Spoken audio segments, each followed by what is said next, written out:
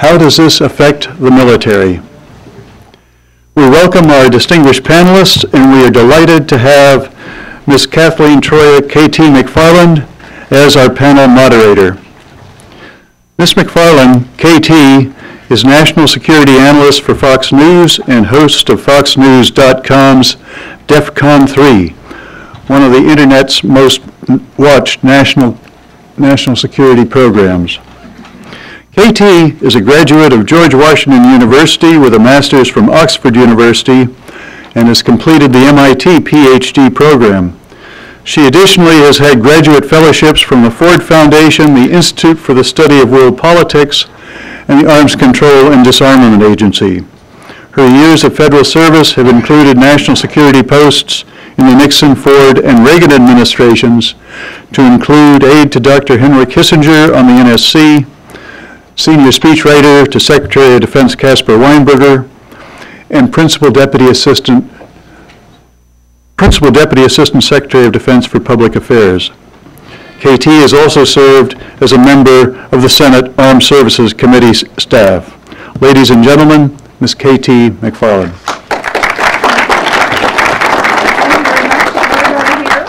Okay. I want to um, tell you, first of all, everybody on this panel is totally Dennis Clift and I and Secretary Lehman. Doug Macgregor's son was a classmate. Here, raise your hands if you come out here. You got that? Okay. I was just going to explain to you all the interconnectedness and LinkedIn factors. Um, Dennis Clift and I and Secretary Lehman all worked together as very young people on the Nixon National Security Council for Henry Kissinger. Uh, Doug Macgregor's son and my daughter went to college together. And the gentleman who's a surprise guest over here got his college degree from Secretary of the Navy John Lehman in 1983. Uh, if we had been here, uh, no, there's no chance that this gets reconsidered or taken back. like if we'd had this conference a year ago, when Congress passed sequestration, everybody would have claimed, look, sequestration is such an impossible poison pill that it would be laughable. It'll never happen. It'll force us into solving the debt problem. If we'd had this conference six months ago, well, the winds had started to change, and our senior civilian and military leadership said, well, these cuts would be catastrophic, devastating. So we are now hanging on the edge of the fiscal cliff. And it seems that those sequestration cuts may be just a down payment on even greater cuts in the out years. Old Washington hands will tell you, oh, don't worry about it. We've been through tough times before. It's just another of that cycle of boom and bust. Defense spending that we've had since the beginning of the Republic. And you guys all know the drill. The war's over, whether it's World War II, Korea, Vietnam, the Cold War, and now Iraq and Afghanistan. So it's time for that peace dividend. We always cut defense spending after wars, and even so after unpopular wars. We focus our national attention back to domestic issues, jobs, taxes, infrastructure, healthcare, education. This list seems to always remain the same. But if we're in tough economic times, even our defense hawks morph into fiscal hawks. During the bust cycle years, we downsized the military. We cut end strength, stretch out procurement lines, slash R&D, and reduce readiness. The military and defense industry complain and warn of dire consequences and increased vulnerabilities as we hollow out the force. But we manage to muddle through until the next crisis jumps up and takes us by surprise. And then we act quickly to ramp up our armed forces, pour money back into defense, deal with the new threat to the national security. The boom years are back. Look, it's not an ideal way to manage our nation's security, but it's a cycle we can't seem to escape. And so far, we have managed to make it through. But there's a growing sense that this time, things are different. Unless there is a last minute reprieve, the sequestration cuts will go into effect in three weeks. The new Congress and administration might, on top of that, pile on additional defense cuts as part of some grand bargain. There seems to be growing recognition that the cuts of this magnitude could be so catastrophic and wrenching that the same old boom and bust cycle no longer works. If so, we've got a choice to make. Is there a way to squeak through just one more time, Could we cut even more weapon systems, stop major shipbuilding programs, slash the number of contractors and consultants, hollow out the force, and maybe retire a few extra admirals and generals? Will this be enough to get us through the next few years until the economy improves? Or is it time now for option B? Back to basics, rethink and prioritize our, our vital national interests, and give up those heretofore sacrosanct missions? Or is there even an option C that we need to redesign, to go back to basics and really redesign the whole system? These approaches have serious and perhaps irreversible consequences, but right now there are no good options left. If we take that first option and hollow out the force, as we've always done in the past, it comes at a price. Secretary Lehman and I uh, saw this firsthand in the Reagan administration. We came into the Pentagon in the early 1980s and we saw what a decade of neglect had wrought. We had ships that couldn't sail because they didn't have the fuel. We had planes that couldn't fly because the pilots hadn't logged enough flight hours to be qualified. And for every tank we had on the ground, we had one sitting right next to it, which was cannibalized for spare parts. But worst of all was what we had done to the men and women in our armed forces.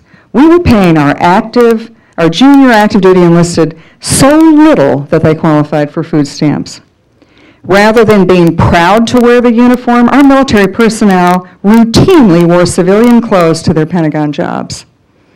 Our Vietnam vets had seen their benefits and services cut, and I will never forget the sight of President Reagan speaking at the Tomb of the Unknown Soldier on Memorial Day and paying tribute to our Vietnam vets. That was the first time a president had done so.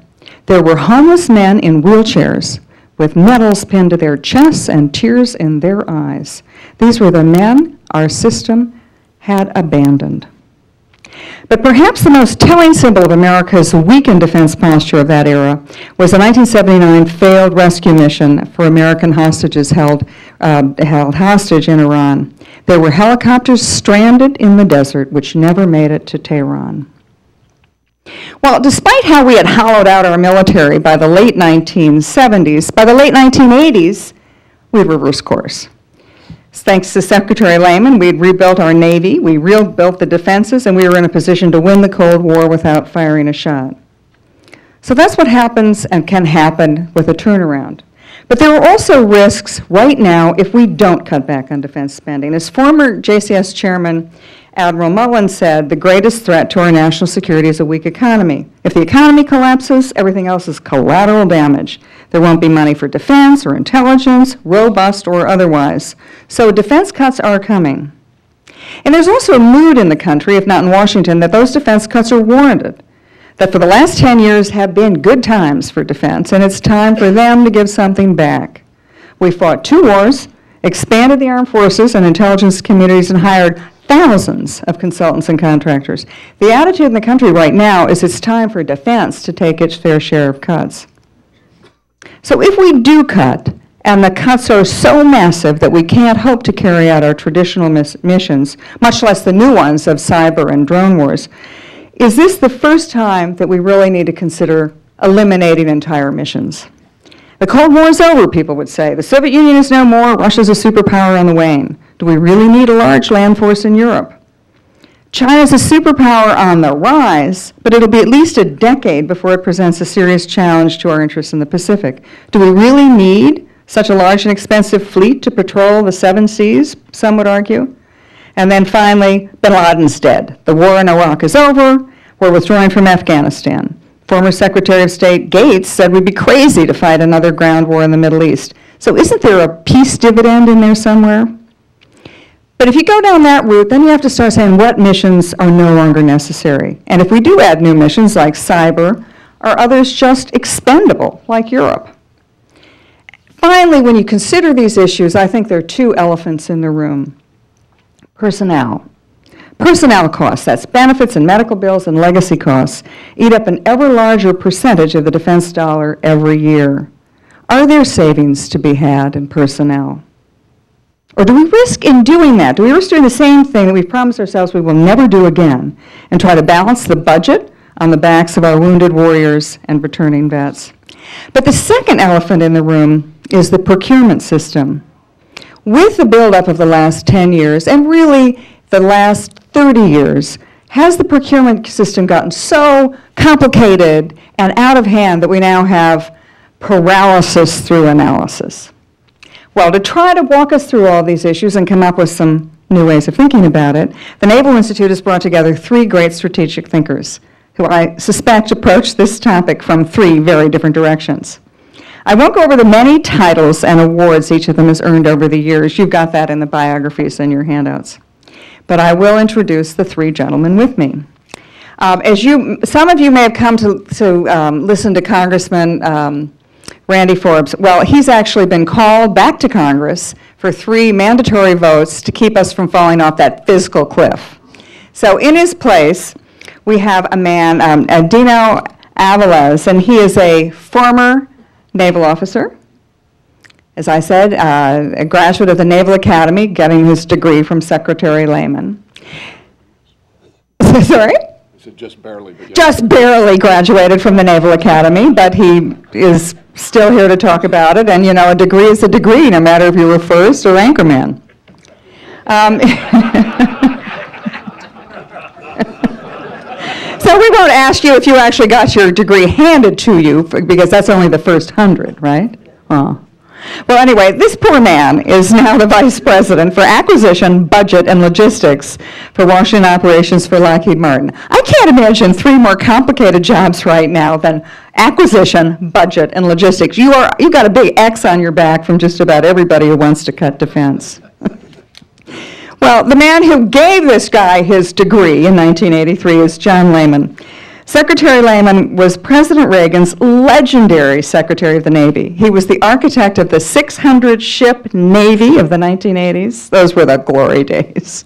He was known as the man who brought ships in on time and under budget, something which is, just sounds, I mean, we can't even conceive of that today. So for the last 30 years, Secretary Lehman has had a successful business in private equity, investing in companies that actually build things. But he's also been an outspoken critic of the huge amount of bloat in the defense and intelligence communities with a bureaucracy that has doubled in size since he was Secretary of the Navy. And finally, we have Colonel Doug Macgregor. He's a retired Army colonel, best-selling author, decorated combat veteran, defense analyst, and the man Ron Paul said he would tap for Secretary of Defense in a Paul administration. Colonel Macgregor has written provocative articles with titles like A Radical Plan for Cutting Defense and has called for reducing America's commitments overseas. And as I said, you may be wondering what an Army colonel is doing at a Naval Institute conference. Well, a little secret. The college his son and my daughter went to and graduated from, not as anchormen, I might point out, was the, the United States Naval Academy. So I want to know about the Macgregor family. Which side are you guys going to sit on this Saturday? Oh, well, the Macgregors dodged the bullet and they just don't show. anyway, we're going to start this, and the way we're going to structure this is I'm going to grill these guys for questions for about 20 minutes or so, and then I unfortunately have to leave to attend to a family emergency. And so Admiral Daly is going to open the floor up to questions from the gentlemen. Um, since I started by saying we really have, what do you think we ought to do? Uh, let's make sure the mics are live. It's on. I've learned that the hard way. Just start talking, and they'll make noise if you, they can't hear you. Um, In the first place, I need, I just need to clarify, I'm, a- as, as was noted, I'm a poor substitute for Congressman Forbes here today. Uh, But I'm not here in my capacity as a defense industry uh, uh, employee. Uh, More to the point, uh, I have a modest amount of experience in uh, programming and budgeting, first at the Office of Management and Budget, and then on the Armed Service Committee in the House of Representatives. I I also served as the comptroller for the Department of the Navy uh, from 2001 to 2004, and then I was the Undersecretary of the Navy from 2004 to 2006. And so I'm really here to speak in the capacity of a former uh, defense official that has some, uh, perhaps some uh, impressions about how some of these uh, fiscal challenges that we're all likely to face over the next few years uh, might be reacted to by those institutions as opposed to expressing concerns about specific programs or or where this might go. Right. So if I could just caveat it that way, that'll, uh, that'll ensure. So we won't hold you to anything you say. my, ensure my continued employment, so that's, that's important to me right now. So, but I, and to, to come to the point on your question, uh, as we sort of approach the fiscal cliff issue, I think the most pressing challenge for the department is the issue of sequestration. uh, as, as we go into this period of defense drawdown, I think if you go back and look at the record, Secretary Gates will tell you that he took about $300 billion out of the defense top line over a 10-year period for, on his last budget. As the Budget Control Act of 2011 uh, established another discretionary reduction to the defense top line by about another half a trillion dollars. So simple math, that's about $800 billion out over a 10 or 11-year period. If we actually implement sequestration, uh, you'll be looking at another roughly half a trillion dollars out of the defense top line over that same 10-year time span. I I respectfully suggest that cuts of that magnitude would require a dramatic rethinking of the national security strategy of the United States. And so this isn't just something that you can initiate and then have the comptrollers go out and find up some, sweep up money to sort of figure out a way to reapply this. This is going to be major surgery at that point. And I uh, it- it- if you're going to have a balanced program on the back end of that, it's got to touch everything. It's got to touch personnel, readiness, uh, investment accounts. And so the question is how that would be dealt with. And so, So do you think we have to go about cutting missions? Or is there some other way to do these phenomenal changes? I think if you were looking at cuts of that magnitude, a revision of the national security strategy would certainly look at, uh, at, uh, at sort of load shedding the capacity, a lot of that engagement work, also humanitarian uh, assistance, uh, disaster relief, those sorts of things. There's sort of lesser included capabilities that, are- that exist within the force, but it's just not something that you will certainly budget for within a baseline. I think you will see a contraction uh, in the size of the general purpose forces, uh, so you will have a limited, a more limited capability to respond uh, should you have a force that's that much smaller. Okay, so a lot of that is still what people could call frills. You're not talking about, let's give up the Middle East, or, No, but, but. Let's get out of Europe. The CENTCOM commander may not be able to uh, receive the same amount of forces from the, the the entities that generate forces. You may have to have a much, a, a- smaller presence, Mm-hmm. or, you know, you may not be able to maintain two aircraft carrier presence uh, in the CENTCOM AOR for, per- project, for protracted periods of time if the aircraft carrier force structure were to be smaller. For instance, I'm just using that as an example. okay, so I think I would, if I had to say which option you're going to take, you could say we would be- still be able to hollow out, massively hollow out the force, but not start giving up what we have considered heretofore vital national security missions. Again, I'm not a representative of... No, no, I understand, yeah. But the, I believe that any rational national security policy would look at a balanced capability within the force. You wouldn't preserve modernization at the expense of readiness, or preserve personnel at the expense of modern, you know, Mm-hmm. you would try to make it, to size the force that it's sustainable and balanced and capable. If it's going to be a smaller force, you want it to be a capable force. Okay, let's now switch um, to Colonel Macgregor. You have said, uh, we're not going to go one, two, three and prepare you, I'm going to jump around. So, Colonel Macgregor, you have talked about cutting missions.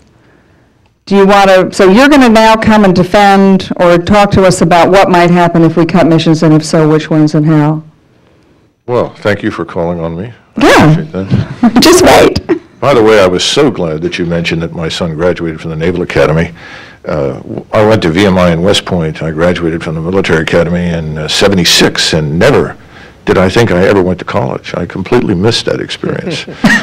So, uh, Now that you've told... Well, you know, that, the- we could actually get into a really great conversation about West Point versus Annapolis, but we will save that, because I have a feeling in looking at the audience, you're going to lose that one. Well, I, I just find it disturbing that the American people are putting people through college. Anyhow, uh, let me, let me set forth, in response to your uh, question, a couple of general propositions.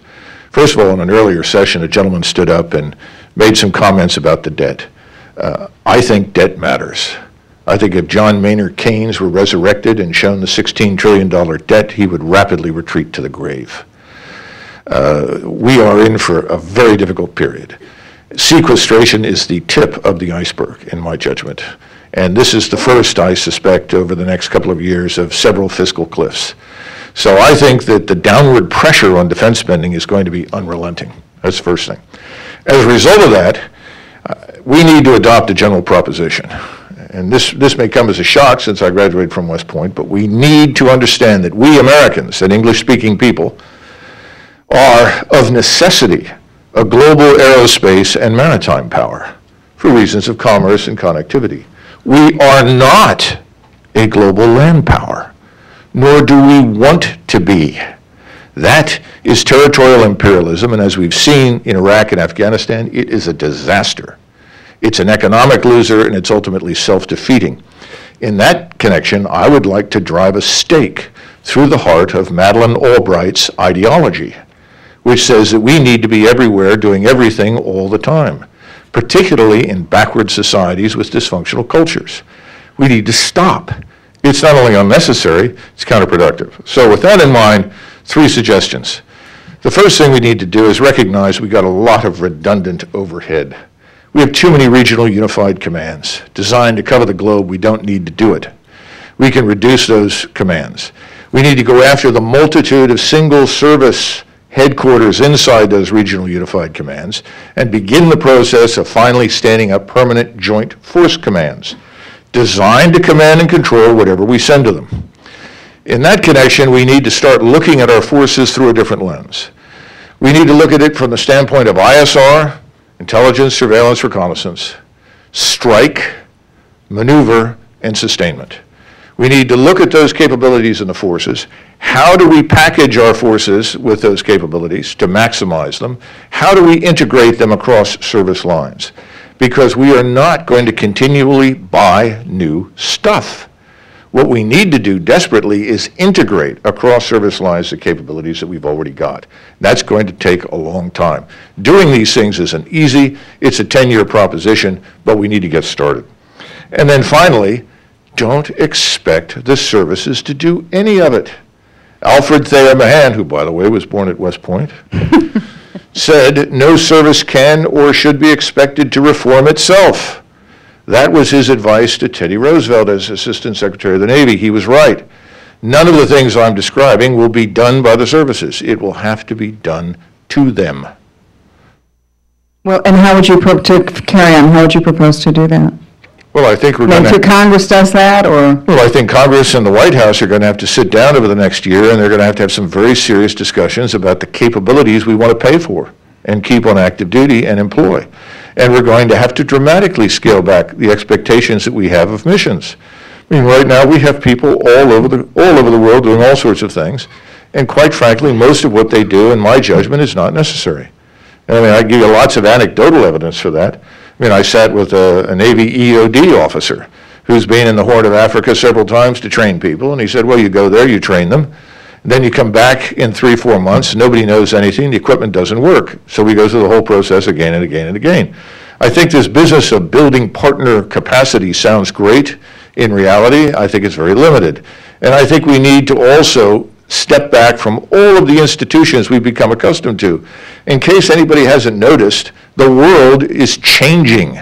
Bretton Woods is going to come to an end. NATO is, in my judgment, dead man walking and has been for a long time. We are going to move into a world where we have limited liability partnerships, where we cooperate with people for limited purposes for limited periods of time. But this rigid framework, good versus bad, good versus evil, black and white, enemy and friend, is gone. And it's likely to be gone for quite some time. And remember, the debt bubble that we're struggling with is not unique to us. It affects China, it affects everybody. So the, the notion that we are facing in the near term, and I would say near term within the next 10 years, a significant existential military threat is wrong. But that, that does not mean that we should not work now and build the military capability along the lines that I've argued over the next 10 years, because in 10 years, the world will have changed again, and we will look at a new set of actors. Okay, well, I think we got one on one. One guy who says we can probably hollow out the force, it'll be really, really, really hollow it out, and another guy who says, let's give up missions. Is there a third way, Secretary Lehman? And by the way, I want to add that Secretary Lehman, when I was sec- the Secretary of Defense's speechwriter, and Secretary Lehman was the Secretary of the Navy, he had a nasty little way of always inserting 600-ship Navy in every speech that we sent to President Reagan. And he knew once he got President Reagan to say 600-ship Navy, he had him. The problem was Lehman had to build the ships. KT, I'm happy to cede the rest of my time to you if you want to continue on. Uh, First, I- I'd I'd really like to thank Pete for, um, uh, for decorating the, the uh, front rows here with all these beautiful brown shoes, leather shoes, and uh, leather jackets. Uh, It's very comforting to me, and uh, thank you. I have become a a cliff diver. Uh, I think we ought to have, we ought to let let the government drive right over that cliff. And the reason is because I think our system for providing the common defense is so broken that it will take a major crisis to, uh, to be the catalyst for getting some real, real change. And uh, I'm not at all a fatalist to say, well, it's just, you know, uh, bureaucracy is permanent, it, uh, uh, it will, uh, you can't really do much about it. I, when I moved to New York, after I fled Washington, the, uh, uh, the common wisdom up there was, New York was such a mess, it can never be fixed, it's so endemic. And then Giuliani came in, and we're in a golden age in, in New York. And the same thing can happen to our defense establishment. It just needs, I think, a crisis, and it needs, uh, it needs some leadership. And uh, uh, the, the system doesn't work today. Uh, You've all seen it proceed since the Reagan era. We have a Navy that's less than half the size, an Air Force that's less than half the size with aircraft double the age in the the Reagan administration. You have an army that's half the size, and you have a civilian bureaucracy of 970,000 people uh, that is more than double the size it was when we had twice the size of the force, and we're producing ships and jets under budget, not over budget. So we've reached a, a, a point of entropy where uh, the system just doesn't work, and we are unilaterally disarming. And if we continue without a major, major change of course, uh, you are going to see worse overruns, you're going to see uh, worse cuts uh, without rational planning, and we will become a, a, a very second-tier uh, influence in the world. I think it's happening, it's happening before our eyes.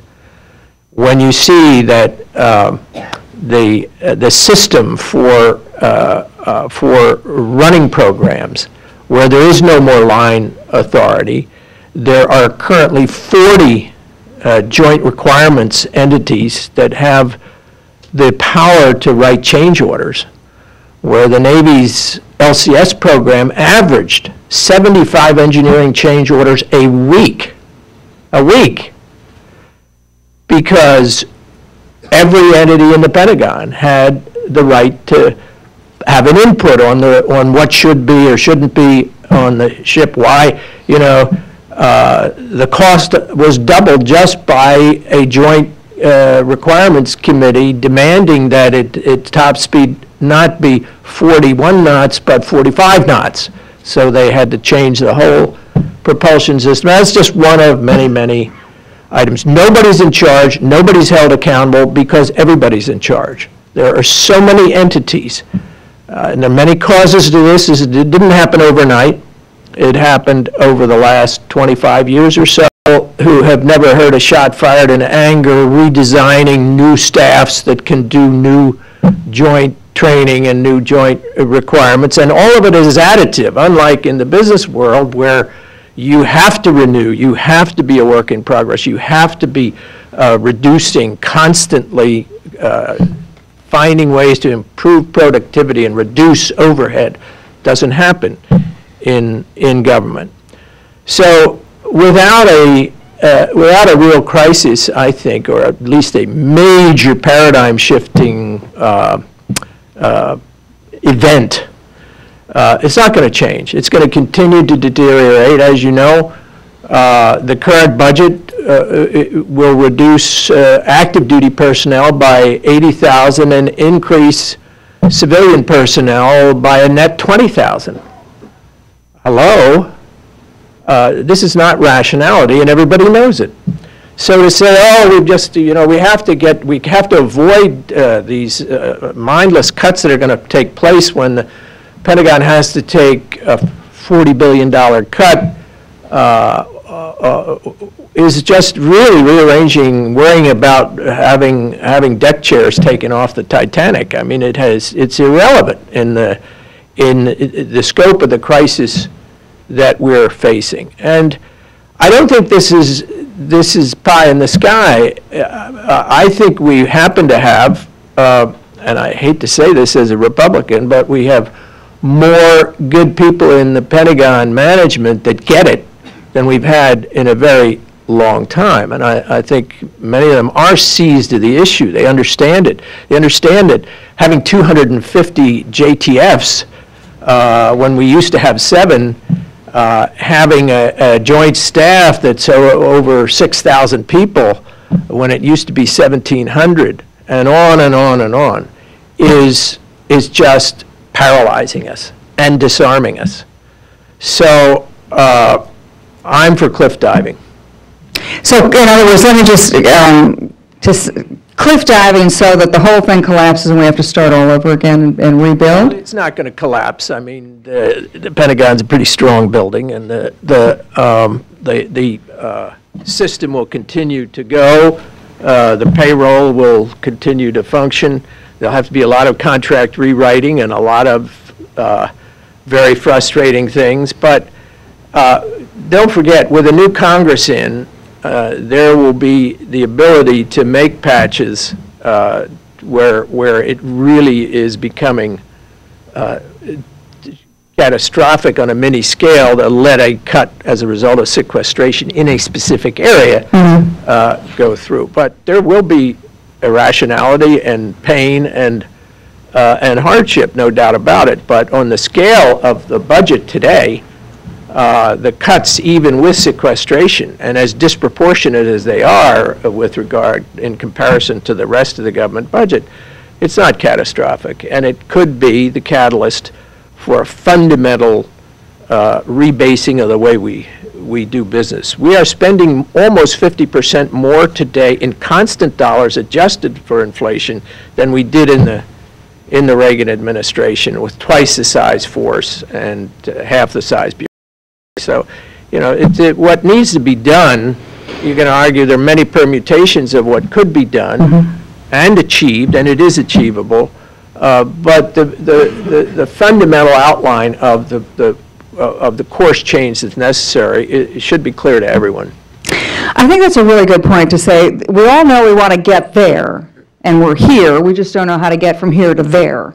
And so, Dino, let me ask you, you've seen all sides of it, you've seen procurement, you've been on the industry side. Do we get to there any, with anything less than a catastrophic crisis? Oh, I'm sorry, here. You wanna take Oh, no, we can share. This is actually how we do cut back on funding, we only have three mics for four people.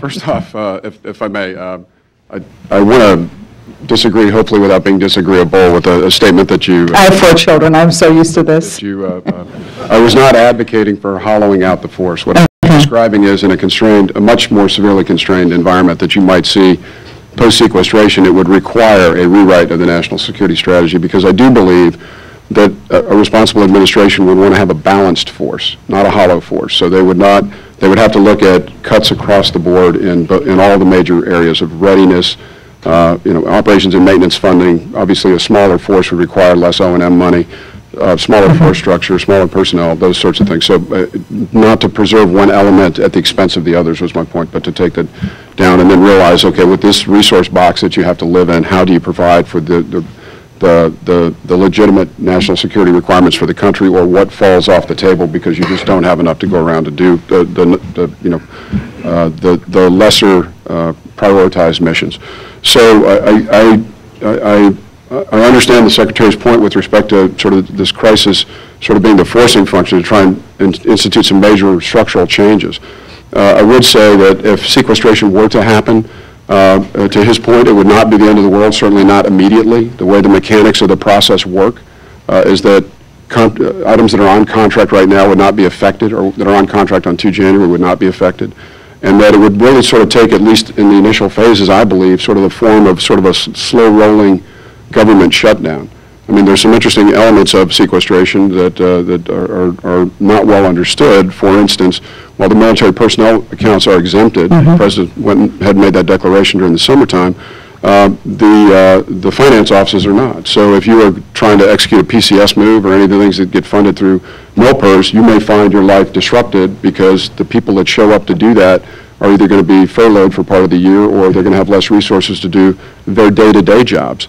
That would apply to contracting activities. That would apply to, so even if your, uh, your program is on contract and executing, you know, you're to, there are going to be fewer people on the government side that are showing up for work every day, and they're going to be uh, remarkably uh, unhappy, and so that will have implications for folks' lives as well.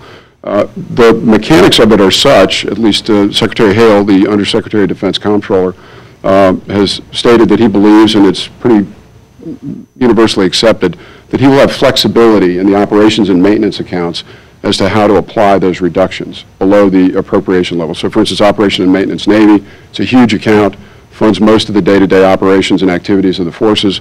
He would, the, the Navy would be able to figure out where to park the, the, that roughly nine and a half percent reduction, which areas would not have to be uh, spread across the board. The acquisition accounts, procurement R&D, RDT are a little less well-structured, although Secretary Hale believes because of sort of a, a unique thing that's going on, because we're operating under continuing resolution, that he would not have to do the across-the-board level reductions at each level. Now, that's not a, that's not a, uh, a mutually agreed position, but I think as, that he would again have flexibility as to pick which programs would suffer greater reductions than others.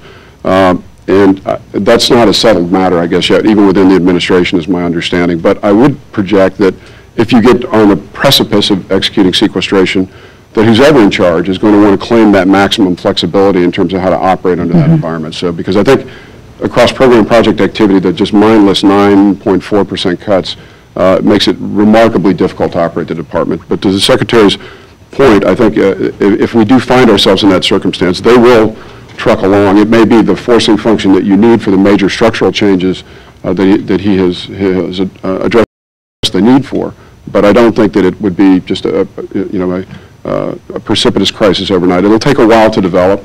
Uh, I tell people, and sometimes I use colorful language, so please don't be offended by this, that, uh, you know, going through sequestration or going off the fiscal cliff and then fixing it after the fact uh, is is rather like uh, being shot in the leg. And shooting yourself in the leg and treating the wound afterwards is not exactly the same thing as not shooting yourself in the leg.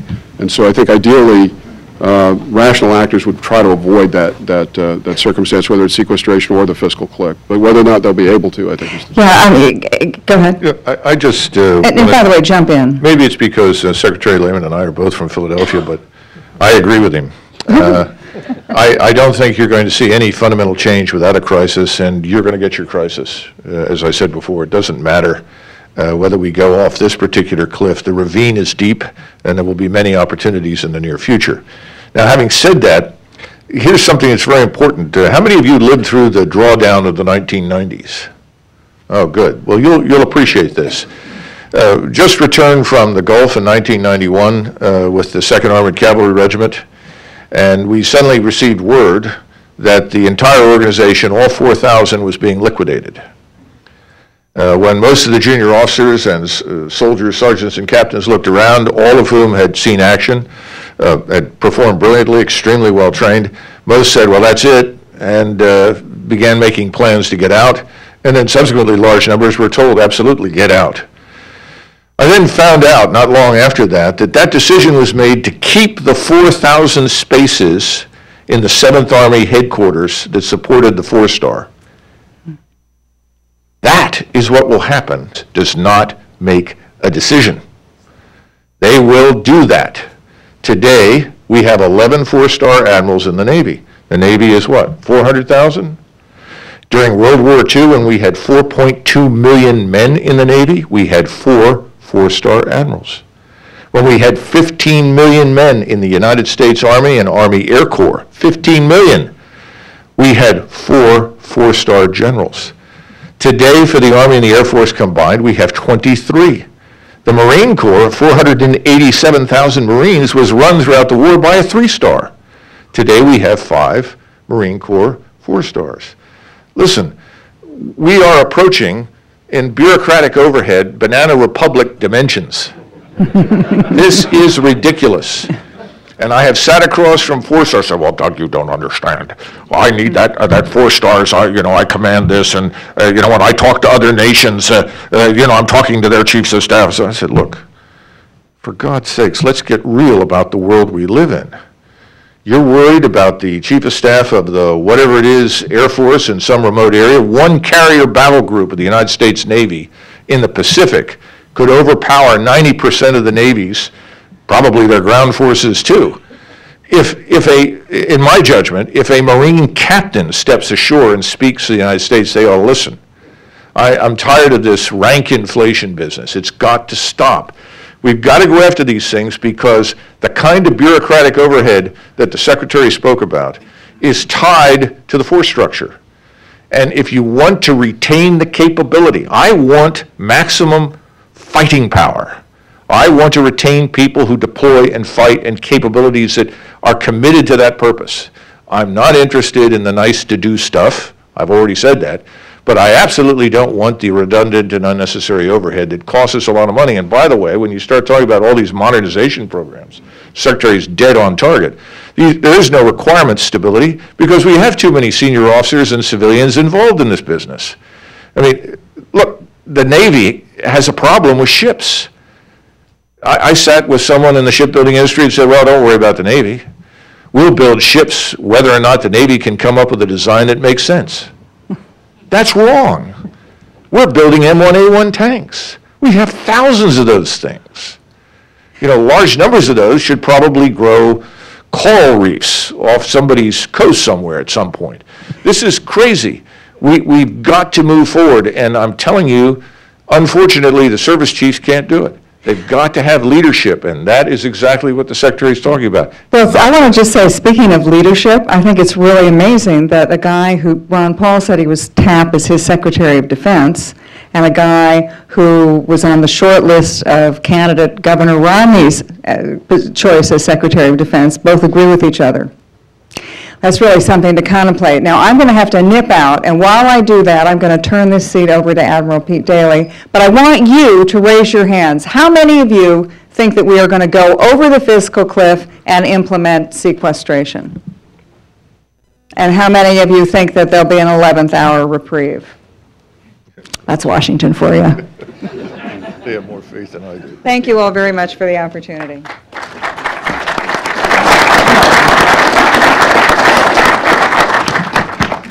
Okay, I think it's a, a good point in the panel discussion to uh, open it up to questions from the floor. And uh, so I'd like to, we have a couple of mics, and please use the mic so we can hear you, and if you raise your hand, we'll get your mic.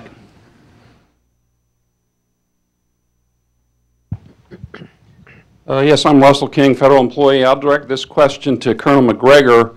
Um, You had had mentioned uh, that you don't like a land occupation of foreign countries, Uh, but in in the Navy, there's a certain baseline, I think, in terms of of um, maritime choke points and sea lines of communication. For example, there's the Suez Canal, the Strait of Bab el-Mandeb, and the um, Strait of Hormuz and so forth. And there's the Arab Spring, and there's unrest in those areas. And when we had the um, 1977 deals in the Panama Canal, uh, I think one of the conditions was that, well, if there were unrest there and, and so, something that threatened the canal, well, then we could send the military in. It'd be like the MAGTF, you know, Marine Air Ground Task Force. But don't you think we should, uh, in certain strategic areas of the world, have certain minimal forces uh, in place uh, to, to prevent uh, the fact that we have a disruption of, uh, of co- sea commerce as a result of something?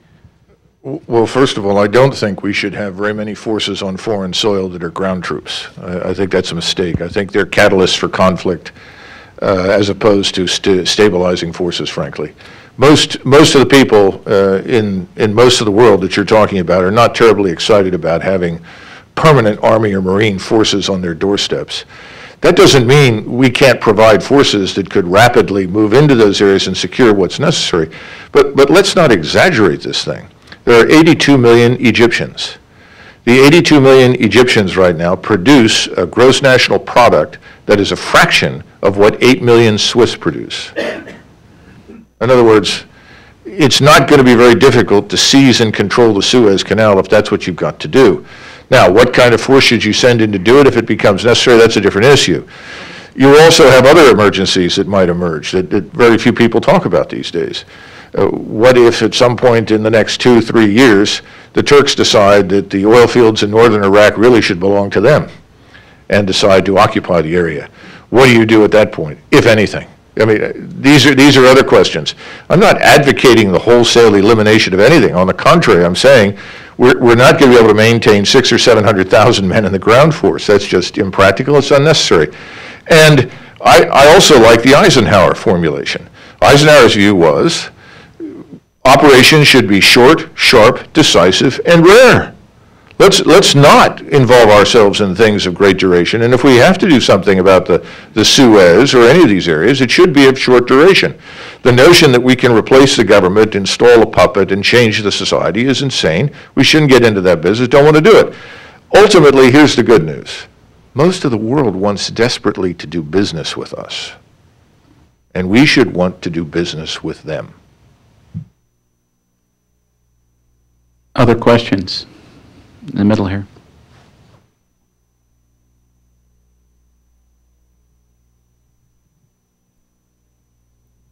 Yes, hi, Kirk Jenny, Navy civilian. Uh, I have a question for you. Recently, Senator Coburn put out a report saying that the Department of- of Defense has turned into the Department of Everything. And he proposed about 68 uh, billion dollars worth of cuts. Though I don't agree with all of it, do, I'd like the panel to respond to the question, do you believe that we need a purification of our mission? And perhaps how we would do that? How about Secretary Lehman take that first? And there's also the prospect that comes up a lot about medical and other things that Congress lards into the defense budget as well. Yeah, I- I- I- you're never going to get rid of pork barrel. It's been uh, from the very uh, first uh, contracts for the six uh, super frigates, uh, instead of building them where they should have been built in Philadelphia, they were spread around to six different places. That's inherent in our, our system. So you, you, you gotta, gotta be realistic about what the real, uh, the real issues that you can uh, deal with are. But uh, mission is important. I don't think we should go back to a Key West as something as, as uh, deep as that.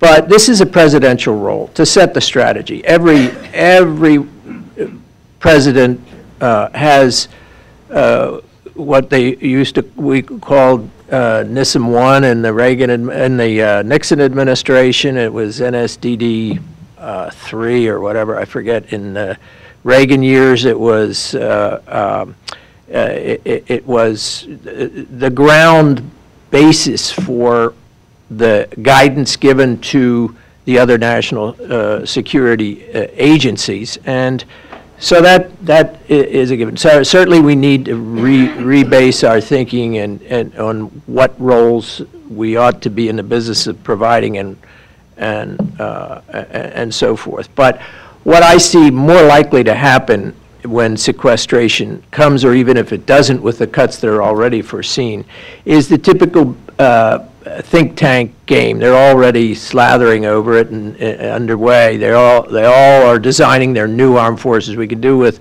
half the number of carriers, we need more uh, uh, divisions of, uh, of this and fewer of this kind of, uh, uh, uh, of airplane, and let's cancel this, and let, it's, it's just really, uh, again, playing with, uh, with things that are irrelevant to what our, our real issues are. And unfortunately, the likelihood is that that's what will, uh, will devolve. It'll be a mishmash unless we get the leadership to really take advantage of, uh, of the crisis as, uh, as the president's uh, uh, White House advisor said, "I'd be ashamed to waste it."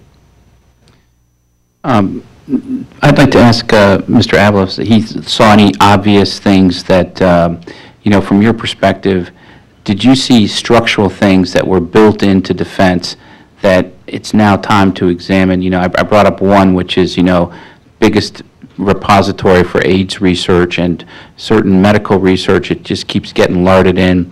What, what can we do, or do you have any ideas on that? First off, I'd like to uh, uh, associate myself with Secretary Lehman's comments with respect to whether you want to call it pork or congressional ads, what have you. Uh, It is a, uh, something of a fact of life. I do think that the Congress has policed itself somewhat more uh, than it has in years past, largely uh, because they felt like they were being held accountable by the American electorate, and it's much more difficult environment, I think, to get those sort of uh, things done than maybe it was uh, as recently as a few years ago. But, but having said that, I would say there's a lot that's different now about how you operate the department, even as recently as, you know, I've been gone for six years now, but even as recently as six, seven, eight years ago, with respect to costs. And uh, Secretary Lehman had addressed the issue of, of, uh, in terms of actual inflation-adjusted dollars, how much he had to work with back in his tenure during the 1980s versus today, talked about the growth in overhead and bureaucracy. A lot of the cost components that go into fielding today's force are radically different than they were as recently as, as 20 years ago. Uh, all of us served as junior officers at one point in our career here at the, this table. Uh, the compensation structure then was radically different than what it is today. We have a, a, uh, people use the term volunteer force. I'd like to use the term we have a recruited professional force. Uh, they are compensated. Uh, the old contract used to be a below average wage while you were on active duty for a much uh, above average retirement for a, at, a, at a relatively young age, going to, taking you into uh, well into your uh, advanced years. Now we have a competitive wage and in some cases an above average wage while you're on active duty and a very generous retirement system along with a very generous health care system. I'm not arguing that that should be changed. I don't know what the right mix is in terms of compensation and benefits are to attract and retain the kind of force that we need going forward. But we have to acknowledge that we have a professional force and there's a cost associated with it. So again, to Secretary Lehman's point, in the private sector, you are constantly about how to, to figure out how to operate entities more efficiently and more effectively. And frequently that means how to operate them with less people. And so the question remains, if you're going to have that recruited professional force with all the cost elements associated with, not the least of which is a defense health program that is larger than the annual shipbuilding budget by a factor of three, uh, at least, I believe, and, and, and I haven't looked at that in the last couple of years, but if you're going to have that cost element associated with people, then just accept that you've got to do things differently. You've got to have different management struct, management leadership structures, and you've got to look at how much you're going to invest in an acquisition system structure. I'm not saying what the right model is. I, I will say that somebody made the point that you just keep adding process to, or on process. I, I used to be an engineer, not a very good one, uh, but you know, one of the things I do remember from engineering is that you don't increase the reliability of a system by adding to its complexity. And it strikes me that that's what we've done in many of these organizations over the years, because uh, it is easier to just sort of bolt something on than to try and make a fundamental change.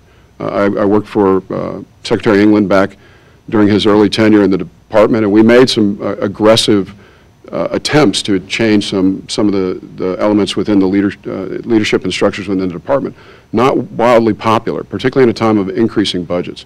Some of that is now coming home to roost. As you see budgets come under pressure, I think people that have to be accountable for results are, are looking at these, you know, brushing off some of these old ideas and taking a hard look at uh, whether or not there's, there's room to be made. Because I do believe, even if we avoid sequestration, this is just round one. There's going to be an immutable pressure to further reduce defense spending over the next, uh, over the next several years. And it's a question of whether it's 50 billion a year or 10 billion. I don't know the answer. I just know that the pressure will be there. And so. Thank you. Colonel Macgregor. do you have a point on that? Yeah, uh, first of all, I'm a- an enormous fan of uh, Senator Coburn. I think he's a very fine man, and I think he's trying to make a point, uh, whether or not the individual lines are accurate. He's frustrated with what he sees as uh, misguided spending habits. Uh, Admiral Harvey, before he retired, uh, wrote some very interesting things on acquisition and how he thought things should be done. And uh, I was doing some work at the time, Secretary Winter was Secretary of the Navy, and one of the things that I discovered when I talked to people in the fleet was that we asked for a shotgun. Two years later, they came back with a laser pistol, and it didn't work very well. Uh, this is an enormous problem that cuts across all of the services. Uh, this monster monstrosity was one of the reasons that I ended up leaving. There were many reasons I left when I did, but uh, this future combat system thing that uh, General Shinseki embarked upon. And I made myself very unpopular by saying that, uh, you know, you can't break the laws of physics. This doesn't make any sense. Well, it didn't make any sense, but we spent $20 billion trying to realize it. And uh, as Secretary Lehman points out, there was no accountability. None. Uh, we got to get out of the business of pursuing unobtainium. We've got to work with what works now, preferably as close to being off the shelf as it can get. So we can rapidly prototype something that we think has a chance of working.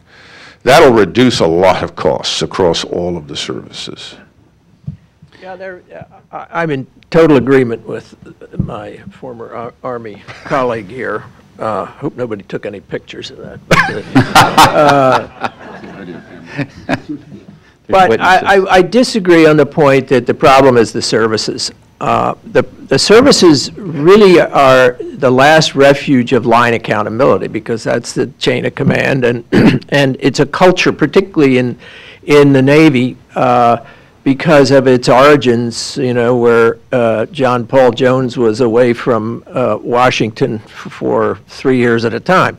And so there is a, a, a, a tradition of accountability that is different than the other services who, who are much more uh, part of the uh, Clausewitz uh, religious persuasion uh, that grew out of the general staff matrices that, that uh, were developed in Europe at the end of the 19th century. So uh, there is the there are the tools to work with in the services. The migration of fat has been from the services to uh, to the the vast uh, cloud of of OSD of the 23 independent agencies that report to nobody of the 250 JTFs of the the uh, uh, the uh, I think the smallest of the COCOMs has over 4,000 people on the staffs.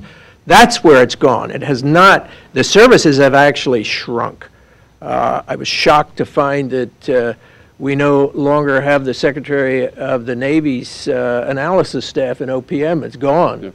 Like snow on the water. It's all gone up to the cloud. There are, uh, from some analyses, over 25,000 people distributed through DLA and through um, the uh, uh, various offices of OSD that are in charge of shipbuilding.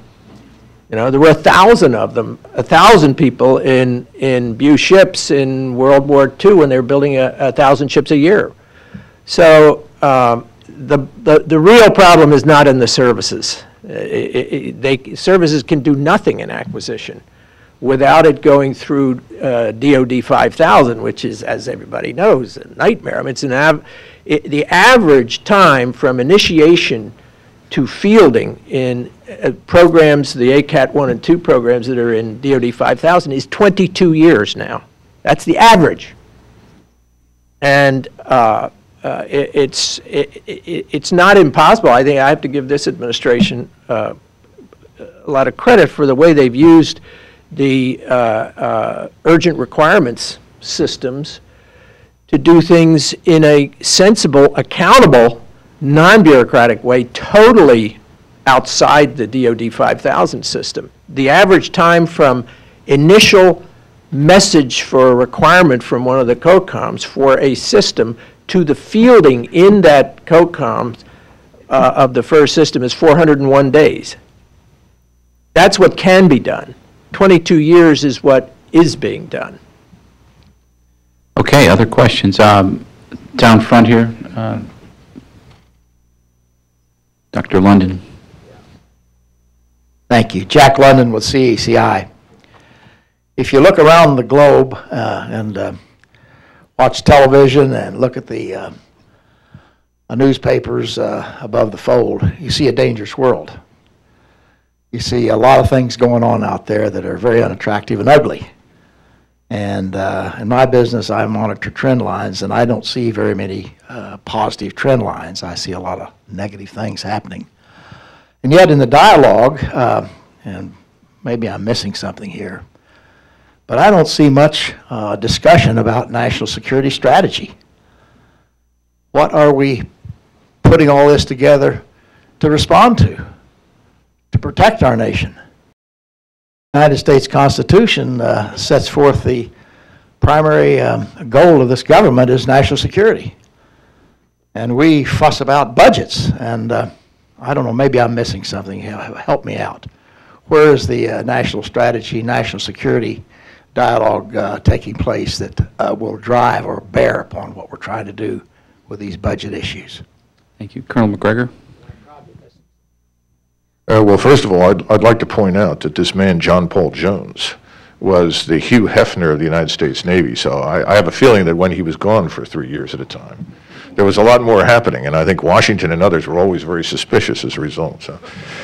Anyhow, uh, we have no one like that today in uniform, I know. Uh, First First of all, there, there is no national security strategy, and we've had no strategy really since 1989. NSC 68 was the last document that stipulated what the armed forces would do in response to this defined threat. It's a good document. If you go through it and read it, it tells everybody what they have to do. Lines of communication, uh, land, sea, air, everything. We haven't got it because nobody on the Hill really wants it, because everybody has an agenda. And those agendas are not necessarily aligned with any larger national purpose. Yes, if you watch the television, whether it's the BBC or Fox or anybody else, you're going to see lots of frightening pictures. But people don't seem to understand that most of it doesn't matter very much to the people in the United States. And they also don't understand that these peoples that we're watching tear themselves to pieces, their societies and so forth, are not a threat to us, but they are a serious threat to themselves. And they are going to struggle in these societies, especially this Arab Spring that has very rapidly transformed into an Arab winter. That's going to go on for a long time. Their problems are not fixable by us. And the last thing we need to do is intervene in it. But we also need to understand that we have an enormous reserve of military power to utterly destroy or annihilate anyone who presents a serious threat. But uh, once again, there's no requirement nor need, and we absolutely should not do so, and that is go into these countries and stay there. And I think this is why we're now where we are. We're looking at a reset coming, but we're not going to get strategic guidance of the kind that Secretary Lehman wants to give up front. And we need it. It's not going to happen right away. We're going to have to go through that fiscal crisis first. And then, then we will do what uh, Admiral Mullen said. We'll begin to make some hard choices.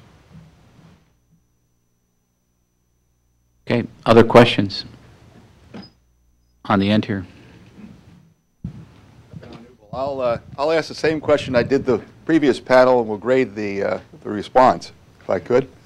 Um, That's the joke, actually. Uh, Thank you. Um, laugh. In the private sector, we're very concerned about how a company is funded. Uh, The, the uh, way we're funded has changed overnight, and I'm wondering if that can't, uh, in other words, we're not funded by, by tax revenue any longer, although we do, uh, what you spend is what you tax ultimately, but we're borrowing. There's an additional uh, component there in terms of national security risk. Admiral Mullins pointed it out, and I welcome, welcome his leadership in that regard.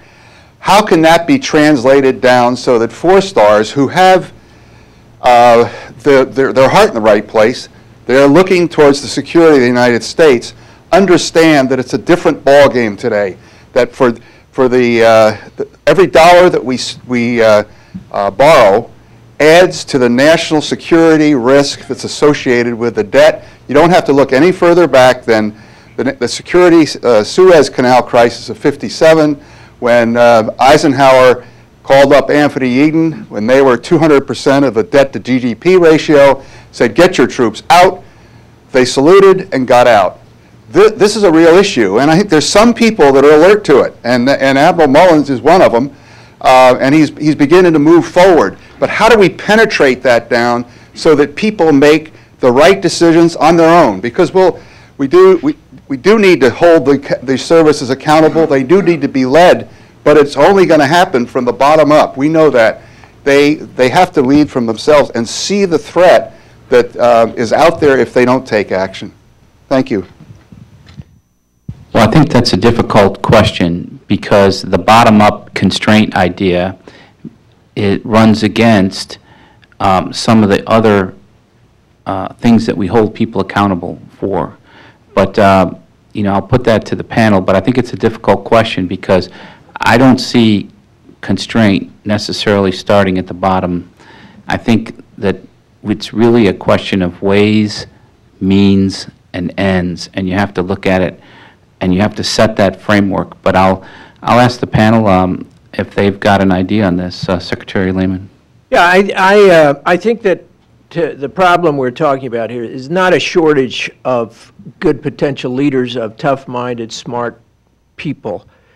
It is one that is, on the contrary, the many, many of these really talented, dedicated, energetic people are embedded in amber uh, in a bureaucracy where they're constantly frustrated, where they know what the right thing to do is, they know how nonsensical it is to, to uh, uh, change a requirement for the speed of a ship from 41 to 45 knots when it's going to double the price, but they can't do it because they have to go through the system, the reviews. You have to have 11 boxes, uh, initials uh, to, to move any message forward.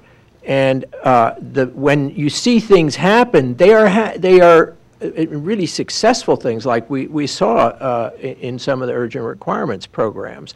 It's done by people willing to risk the hotline calls and the inevitable pushback of the vast bureaucracy against decisive action and willing to risk their careers by doing the right thing, the smart thing, and getting results, even if it ends up costing them their next promotion because they're not team players.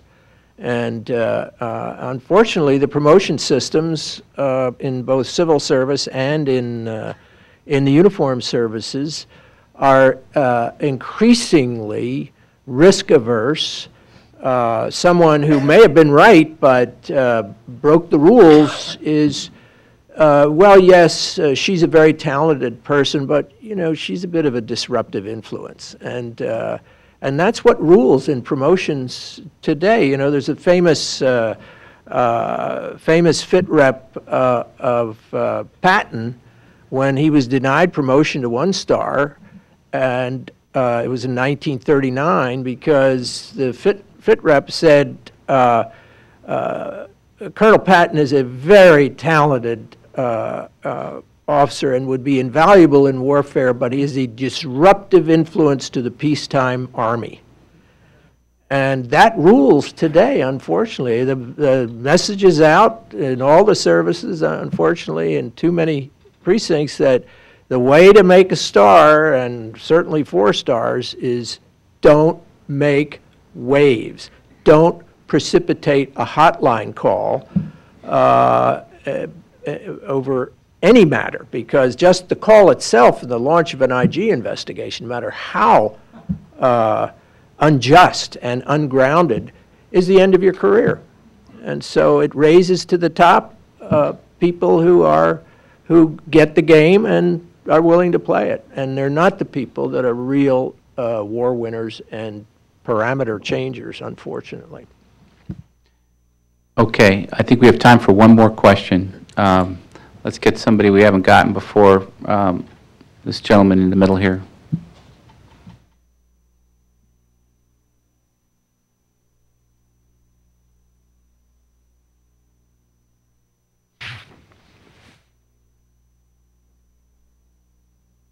Thanks for your comments. Um, Tom Dickinson, Department of Defense. I'd like to get your thoughts and comments about reforming the DoD budget system. And I'm talking about the POM PPBS system, which as all of you know, is 50 years old, was established by SecDef McNamara and the Whiz Kids back in the early 60s. And I ask this because of my experience as an Air Force budget person for five or six years, uh, working the POM PPBS. And I was a program ele- element monitor. And I remember the first year, I went into the three-star programmers, and, you know, I had my FIDEP list of budget requirements and gave it to them and gave my justification, and all went well. The next year, I asked my boss, I said, so what do I do? He says, well, go see the OSD budget analysts, ask them. So I did. They said, just put 10% above everything that you did last year. Just add 10%. And like Secretary Lehman, like you were saying, the people that got promoted and that got the bonuses and things like that were the ones that every year added 10% to their budget without any real justification. You know, go to the programmers and say, absolutely have to have this, we don't get it. You know, if it doesn't happen, the world's going to end, that kind of thing. And then at the end of the fiscal year, come middle of, excuse me, the middle of August or so, that's when funds have to be obligated. And there was huge pressure to obligate un, you know, unexpended funds, even though there was no real need for it. So what's, what's your thoughts about reforming the, the budget system at the DOD? I'm going to give the former Assistant Secretary of the Navy, FM and C, the first crack at that. First off, uh, we can economize by using one microphone. Uh, Thank you. I think part of the, I mean, you touched on part of the problem in that it's a system that's, uh, it's now uh, been entrenched for 50-ish years. Uh, There've been a number of different attempts over the years to try and uh, reform it or revise it or make it more uh, effective. Uh, I think a lot of it, though, is that people have grown up comfortable with it, whether it's the OSD staff, whether it's the the professional staffs on Capitol Hill, with the committees of jurisdiction in terms of how things are presented and justified and documented, and, and this process that you go through that's understandable and knowable and somewhat predictable to all the players. So if you're going to do sort of a massive rewrite of that, it, it's going to take, uh, I think, a, a, an, an agreement, if you will, or the consent of all the stakeholders in that process. And I think trying to put that consensus together is rather difficult. One of the things that I noticed in my time uh, in, in Washington is that it's a rare chief of service that comes up through the ranks of the programmers or budgeters. I mean, let's be frank, they're the unpopular kids in, in any military organization. You know, Secretary Hale has a comment, I don't know if anyone has had the opportunity to hear him speak lately, but he says, you know, for, in the world of the comptrollers, they have a motto, and the, their motto is, we're not happy till you're not happy. And I think in that, and there's some truth to that, in that it's really about disappointment management. To your point, yes, you do get into some inefficient, uh, uh, inefficient, uh, uh, you know, resource allocation when you get to the end of a fiscal year and you're about to, the funds are about to expire. But um, this is sort of segueing a little bit back to the other, other question here. Until you've got a system that respects uh, attempts to try and drive management efficiency into the larger structure, whether it's the Department of the Navy or the Department of Defense at large, because, you know, it doesn't make a lot of sense for a stakeholder, whether it's within a particular Air Force command or all of the Air Force, to be efficient if the reward for being efficient is to see your good efforts go to advantage somebody else's organization that is not similarly committed. And I think that is the challenge, is how do you motivate that good behavior with an, with an understanding that there's an ability to reapply some of that. Part of the problem is uh, the, a lack of flexibility in the way that funds are allocated and the ability to reprogram, those sorts of things. Those are structural challenges that until the departments can show better stewardship of the resources, I would respect the Congress is not going to be sympathetic to giving them more flexibility. And so I think there's, it's a, but it's going to take a long-term commitment and long-term responsible behavior, I think, to drive that. I do think that the fiscal challenges that they're likely to be facing over the next several years uh, can create at least an opportunity to have some, some enlightened discussion about maybe better ways to proceed. But, but I think you've just got this big, uh, you know, morass. If you think DoD 5000 is complicated, you know, to, you know, just look at the financial management regulations. And so, and uh, so uh, that's, I know that's probably not the answer you were looking for, but it's my perspective. So. Well, I think that covers it well. Doug, you had a One, comment one quick comment. Uh, Winston Churchill in 1945 said, uh, "I was not elected prime minister to preside over the liquidation of the British Empire." The British Empire was then subsequently liquidated because they were broke. And go back to Secretary Lehman's earlier comment, when there is no more money and you're not swimming in cash, all of these issues will be addressed, including national military strategy. Well, I'd like to thank our uh, panelists, and let's, uh, let's give them a hand. Dennis Cliff's going to come.